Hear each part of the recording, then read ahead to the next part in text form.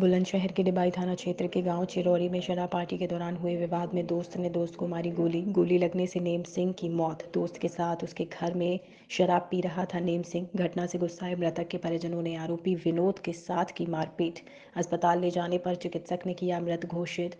Police के आला अधिकारी मौके पर पहुँचे। पोस्टमार्टम को भेजे गए दोनों शव पड़ोसी पड़ोसी थे नेम सिंह और विनोद। विनोद के घर पर चल रही थी शराब पार्टी। विनोद की हत्या के मुख्य आरोपी को हिरासत में लेकर पुलिस आगे की कार्यवाही में जुटी हुई है। बबली अच्छा ये जो मेरा नाम बबली है। हाँ, मेरा भैया है नैन सिंह।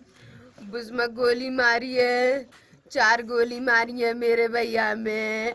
और गोली मार तक के नहीं सोई छोड़ के बाजो है सड़क पे तो आके गोली गिरो है किस- मेरा भैया। गोली किसने मारी थी? विनोदा ने मारी है गोली।